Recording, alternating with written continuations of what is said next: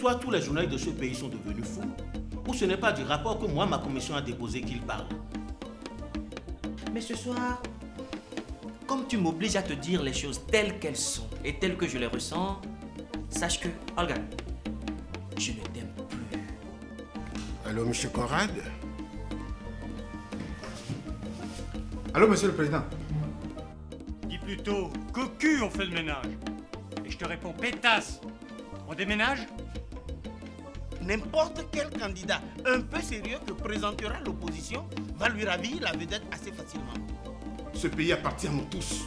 On ne saurait permettre à un seul individu de nous imposer sa loi. Moi, je suis plutôt très déçu. C'est à croire qu'on ne peut plus rien faire pour sortir ce pays de l'ornière. Papa, prends soin de toi. Je ne veux pas que tu nous quittes prématurément. Mais quel rapport as-tu déposé qui fait couler tant d'encre et de salive?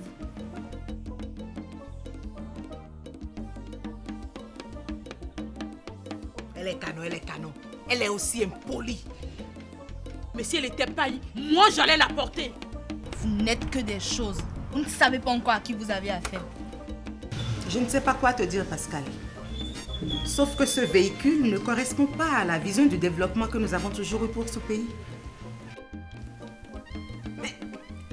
Qu'ai-je fait pour te rendre la vie infernale dans cette maison? Et puis les douaniers. Mais c'est la grosse mafia. Thank you.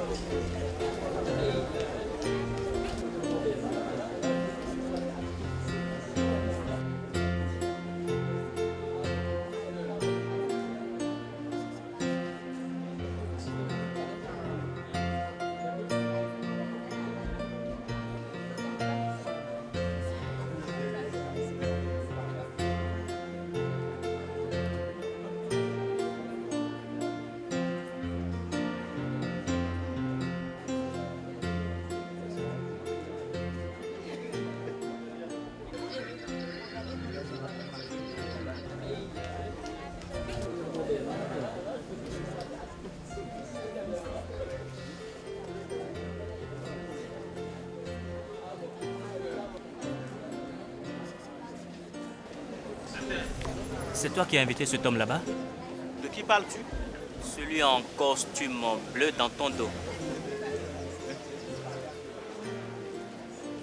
Ah, je vois. Il s'appelle Conrad Okudu. Il travaille dans le même hôpital que Marie, ma femme. Récemment, il a été nommé à un poste à la présidente de la République. Et pas n'importe quel poste. Il est le conseiller à la politique du président de la République, si tu ne le sais pas. C'est un puissant homme du parti au pouvoir. Et on raconte qu'il a ses lèvres très près des oreilles du président de la République. Oh, lui et Marie se sont connus à l'université. Et depuis ce temps, ils ont gardé intacte leur amitié. La preuve, ce matin, on était encore au lit quand il a appelé Marie pour lui souhaiter bon anniversaire. Si moi j'avais un comme lui dans mes relations, il y a longtemps que je serais devenu ministre ou puissant directeur d'une de nos plus grandes sociétés d'État. Patrick, ton opportunisme me surprendra toujours. Mon cher ami, il n'y a pas à être surpris. Il y a simplement à comprendre que dans notre société, toutes les situations sont à exploiter pourvu qu'elles nous permettent d'amas- d'amasser de l'argent. Mais c'est ça. Ah. Et, et si je t'accompagnais pour lui dire un mot? Allons-y, après tout, c'est aussi ton ami là. Votre attention, s'il vous plaît. Chers amis, je suis vraiment heureuse d'avoir réussi à vous faire sortir de Cotonou aujourd'hui pour vous amener à, à Tropokodji, ici à l'espace Keya, pour fêter mon anniversaire. Mais avant d'en dire plus, je voudrais inviter Pascal, mon cher époux, à venir me rejoindre ici. Allez, va la rejoindre mon pote.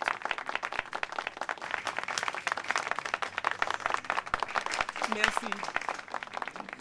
J'ai fêté bien des anniversaires dans ma vie. Mais celui d'aujourd'hui est spécial parce que ce sont nos deux petits anges, Femi et Peter, qui l'ont rendu possible. Femi, Peter, venez nous rejoindre s'il vous plaît.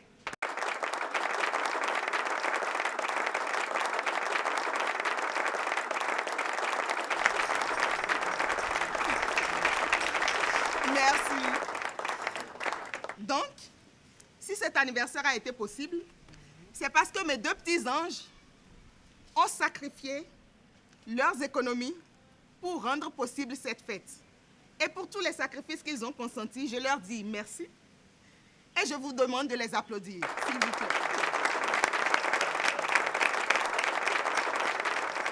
Je n'en dirai pas plus. On est entre amis. La fête est sans protocole. Euh, le service est libre également. Mais attention, toute sortie prématurée sera payante. Bon. Et pour le repas que nous allons partager ensemble, euh, il y a un peu de tout, des plats africains et des mets européens. Vous aurez l'occasion d'apprécier ça. À tous, je dis bon appétit et je souhaite euh, une bonne fête à nous tous. Une minute, s'il vous plaît. Une toute petite minute. Mesdames et messieurs et chers petits amis. Avant le début des hostilités, je dirais, dégustatives, je voudrais, au nom de mon ami Pascal, l'époux de l'heureuse du jour, je voudrais, disais-je, rendre hommage à une amitié. Une amitié qui a germé il y a de cela une vingtaine d'années sur les bancs de la fac et qui aujourd'hui conserve encore toute sa fraîcheur. Je voudrais que nous applaudissions celui qui, aujourd'hui le premier, a souhaité bon anniversaire à Marie. Confidence pour confidence, c'était très tôt ce matin, Marie et Pascal étaient encore au lit. Je veux nommer Monsieur Conrad Okudju, le grand conseiller à la politique du président de la République. Mais comment Patrick a-t-il su tout ça C'est moi qui le lui ai dit. Et il en parle comme s'il avait passé la nuit dans notre lit. Monsieur Conrad Okudju, venez nous rejoindre. Votre place est ici.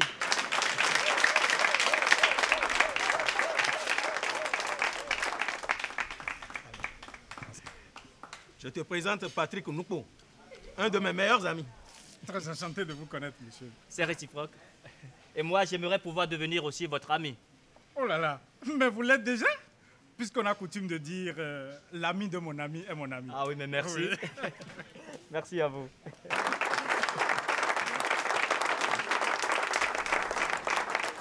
Chers invités, euh, je ne suis pas habitué à prendre la parole en public euh, comme c'est le cas présentement. Je suis plutôt du genre à apporter des idées aux autres pour qu'ils fassent mieux ce qu'ils ont à faire.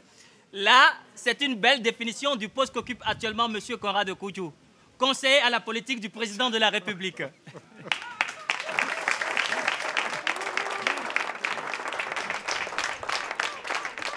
Monsieur Koudjou, veuillez continuer s'il vous plaît. Merci bien. Mesdames et messieurs, observez-les bien. N'est-ce pas qu'ils sont très beaux avec leurs enfants? Oui Oui, ils le sont vraiment. Et je voudrais qu'ils le soient éternellement. Amen. Amen. Tout le monde dit Amen. Amen. Par ces temps où les couples se disloquent pour un oui ou un non, eux tiennent bon. Ils tiennent bon et ne savent que répandre de la joie autour d'eux. Et de tout temps, ils ont toujours été comme ça. Pour la petite histoire, mesdames et messieurs, Pascal était le grand attaquant de l'équipe universitaire, le Labo Football Club. Les buts qu'il marquait nous rendaient fous de joie. Pendant ce temps, Marie chantait et jouait le clavier dans les casseurs, l'orchestre de l'ensemble artistique et culturel des étudiants E EACE.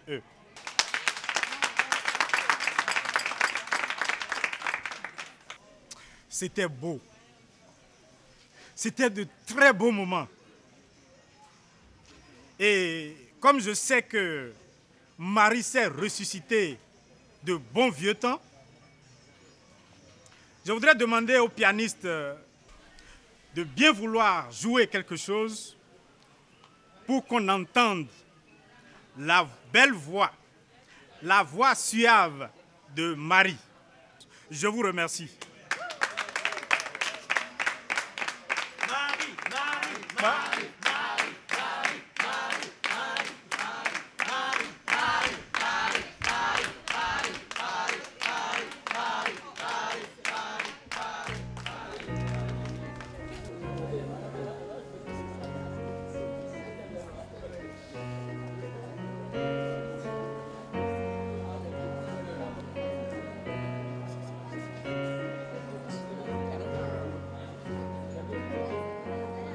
Un mari, c'est le plus souvent un premier amour, un amour d'enfant. Un mari, c'est celui qu'on aime, c'est celui qu'on rêve, sans savoir pourquoi. Un mari, c'est un compagnon des joies et des peines, des rêves et des pleurs. Un mari, c'est généralement l'homme qu'on garde à soi pour partager sa vie.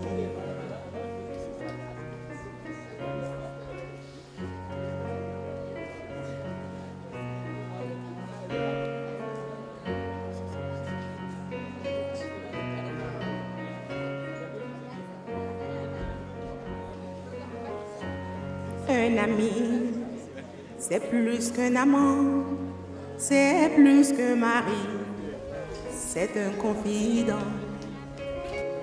Un ami, il est toujours là, il partage vos peines, il comprend vos joies.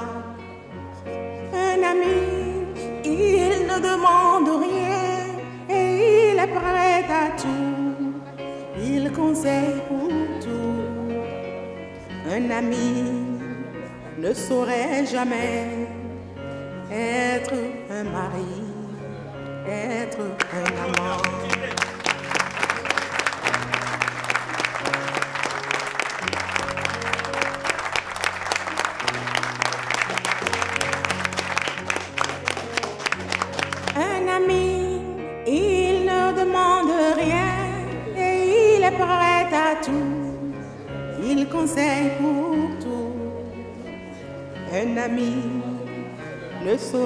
Jamais être un mari, être un amant.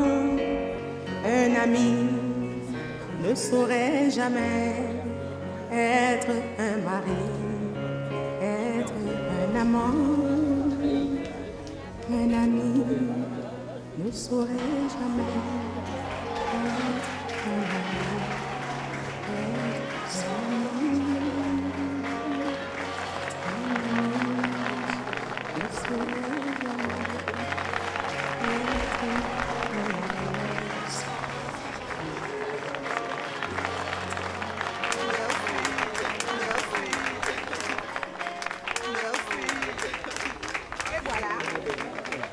Amis, je pense que c'est vraiment le moment d'aller nous restaurer. Et ça, c'est vrai, hein Il est vraiment temps de passer à d'autres choses tout autant sérieuses.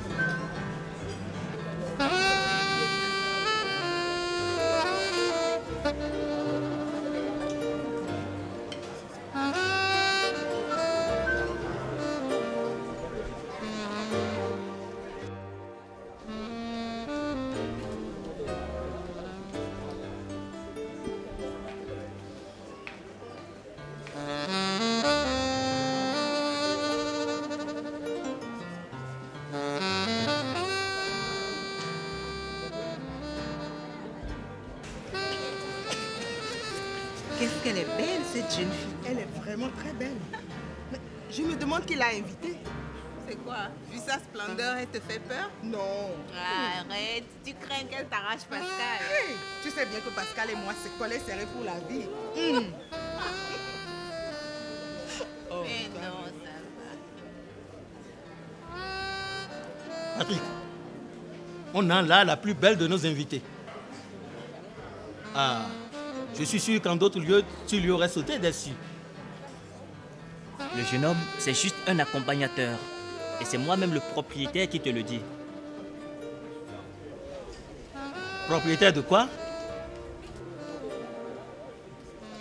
Non, dis-moi, ce n'est pas encore une de tes blagues? Je ne m'amuse pas. Elle chante dans un karaoké de la place. Elle me rend fou, la fille. Je ne peux plus passer une seconde sans chercher à la voir. Non, mais mon ami, celle-là, elle va te ruiner. C'est justement ce qui me surprend en elle. Mon gars, depuis que je l'ai connue, elle ne m'a jamais demandé un copec. Depuis que je le cours après, jamais. Elle me rend fou. Elle a la beauté et la dignité, la fille. Mon téléphone, s'il te plaît. C'est l'hôpital. Oui, allô? Oui. D'accord, j'arrive tout de suite. Merci. Olga, c'est l'hôpital, il y a une urgence, il faut que j'y aille. Mais c'est un fait aujourd'hui, non? Ils ne peuvent pas se passer de toi un peu. Olga, mais qu'est-ce que tu fais de mon serment d'Hippocrate, hein?